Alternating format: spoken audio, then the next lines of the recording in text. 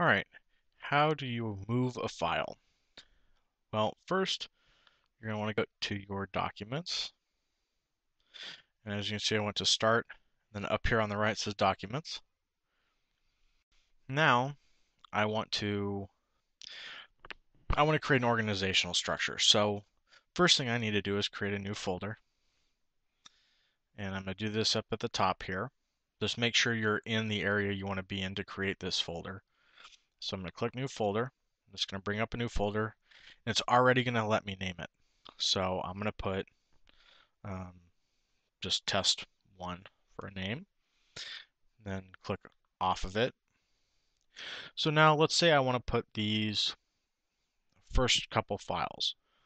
I'm going to hit I'm going to left click to select the file and I can either click and hold and drag it in there and it'll say move to I can hit control and hold control, continue to click different files, and then so long as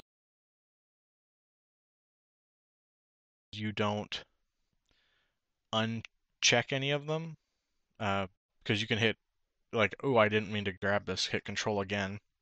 You can click and it'll unselect. But so long as you don't click away from these, or continue to click new ones without holding control, it will keep highlighted. Um, and then I'm going to click one of the highlighted ones and hold it. Then I'm going to drag all of these to the folder. And if I let go, it's going to go ahead and move them. Just make sure when you hover over, it says move to, and it also says where you want it to go. Like in this case, test one being the folder. Because if it says move to pictures and it's not a picture that you're, you're wanting to move it into, you're hovered over the wrong folder. So hopefully that's helped.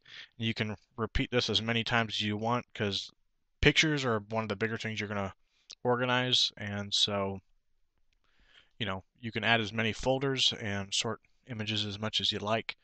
Um, but that's the basics on how to relocate a file.